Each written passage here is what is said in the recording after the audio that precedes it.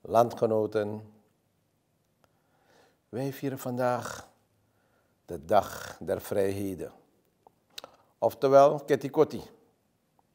Het is vandaag precies 158 jaar geleden dat de slavernij werd afgeschaft. Vrijheid voor jou, vrijheid voor mij, vrijheid voor ons allemaal. En dat herdenken wij vandaag. Ik feliciteer jullie allen met deze bijzondere dag. We zouden deze bijzondere dag graag willen vieren, maar we moeten rekening houden met de geldende COVID-19 maatregelen. Het gaat immers om onze veiligheid. Terwijl we onze vrijheid herdenken, zijn er enkele zaken sa aitai unu ete. Want economische crisis, want tai unu. Want coronacrisis, want tai unu. Maar ik garandeer u dat wij Suriname ook van deze ketens kunnen bevrijden.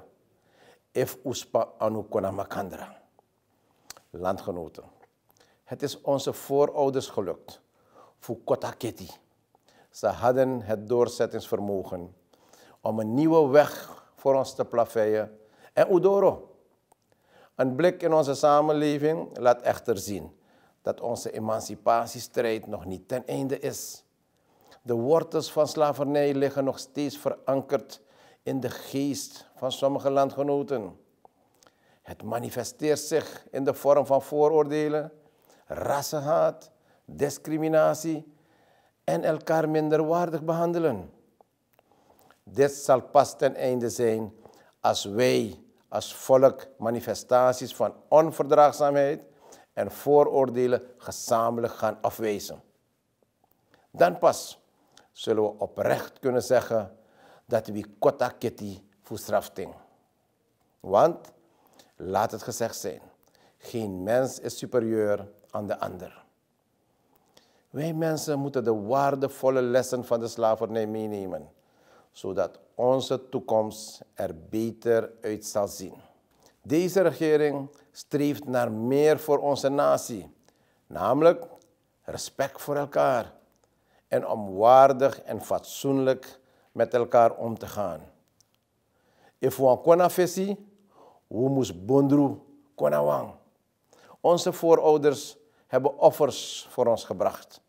Deze offers zijn niet voor niets geweest.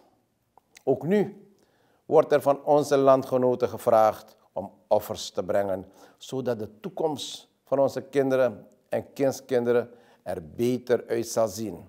Laten we net als onze voorouders offers brengen die nodig zijn, om zo een goed geplaveid pad naar de toekomst te leggen voor ons nageslacht.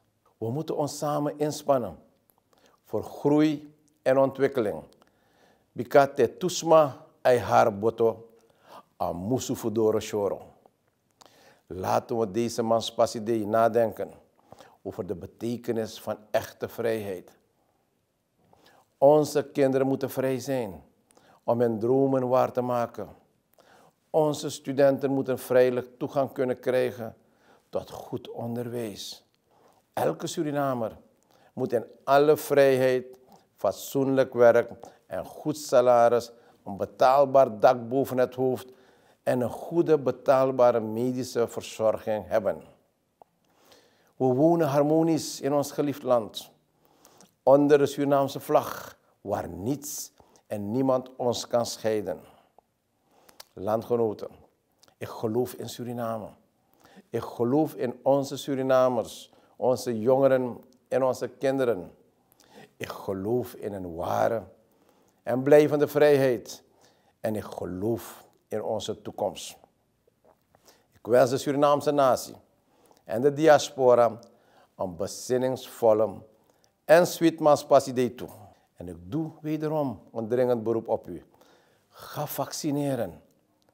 If we free voor coronavirus, ugateka spoiti. COVID-19 is geen grap, maar een heel ernstige zaak. We verliezen helaas elke dag nog te veel familieleden, te veel kennissen, vrienden, collega's en landgenoten. Dus Louis Bradangasisa, houdt u zich strikt aan de COVID-19 maatregelen, landgenoten. Daarop deze Ketikotti helaas niet bijeen kunnen komen om te feesten door het coronavirus, heb ik gekozen om te bidden voor land en volk. Ik bid tot de Schepper dat hij ons land eeuwig zal zegenen en dat hij deze regering de kracht schenkt om Suriname uit de economische crisis te halen en dat we snel verlost zijn van het coronavirus. Laten we samen bidden voor een voorspoedige toekomst met de Heer als onze visieman. God bless you.